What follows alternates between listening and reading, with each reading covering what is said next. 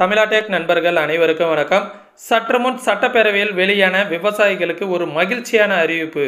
விவசாயிகளுக்கு நூற்றி முப்பத்தி ரெண்டு கோடி நிவாரணம் அறிவிப்பு. அதுவும் இரண்டே நாட்களில் விவசாயிகளின் வங்கி கணக்கில் வர வைக்கப்படும் என தமிழக அரசு ஒரு அதிரடி அறிவிப்பை வந்து வெளியிட்டிருக்காங்க. இது விவசாயிகள் மத்தியில் பெரும் மகிழ்ச்சியை ஏற்படுத்தி இருக்கிறது. அதை பற்றிய முழு விவரங்களையும் தான் இந்த வீடியோவில் உங்களுக்காக சொல்ல போகிறேன் வீடியோ வந்து ஸ்கிப் பண்ணாமல் பாருங்கள் அப்போ தான் முழு தகவலும் உங்களுக்கு புரியும்.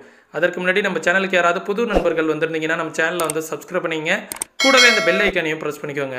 அப்போ தான் நம்ம டெய்லி போஸ்ட் பண்ணக்கூடிய இது போன்ற அரசு சார்ந்த தகவல்கள் மற்றும் மத்திய மாநில அரசுகளோட நலத்திட்டங்கள்லாம் உங்களுக்கு டெய்லி நோட்டிஃபிகேஷனாக வந்துக்கிட்டே இருக்கும். சரிங்களா? வாங்க வீடியோக்குள்ளார பார்க்கலாம் மழை வெள்ளத்தால் பாதிக்கப்பட்டவர்களுக்கு நிவாரணம் அளிக்கும் பணி தமிழகத்தில் துரிதப்படுத்தப்பட்டுள்ளது. அதன்படி இந்த ஆட்சி காலத்தில் மொத்தமாக பயிர் பாதிப்புக்கு நூற்றி முப்பத்தி ரெண்டு கோடி நிவாரணம் ஒதுக்கிடப்பட்டுள்ளது என முதல்வர் ஸ்டாலின் அவர்கள் சட்டப்பேரவையில் தெரிவித்திருக்கிறார். அதன்படி இந்த ஆட்சி காலத்தில் மொத்தமாக பயிர் பாதிப்புக்கு நூற்றி முப்பத்தி ரெண்டு கோடி நிவாரணம் ஒதுக்கிடப்பட்டுள்ளது என முதல்வர் அவர்கள் தெரிவித்ததன்படி கிட்டத்தட்ட ஒன்று புள்ளி அறுபத்தி ரெண்டு லட்சம் ஹெக்டர்களுக்கும் அதிகமான நிலத்தில் ஏற்பட்டுள்ள சேதங்களுக்காக இந்த நிவாரணம் வழங்கப்படுகிறது. மாநில பேரிடர் மேலாண்மை நிதியிலிருந்து இது தரப்படும் என தெரிவிக்கப்பட்டிருக்கிறது. இந்த நிதி விவசாயிகளின் வங்கி கணக்கில் இரண்டொரு நாளில் நேரடியாக வரவு வைக்கப்படும் என தெரிவிக்கப்பட்டிருக்கிறது.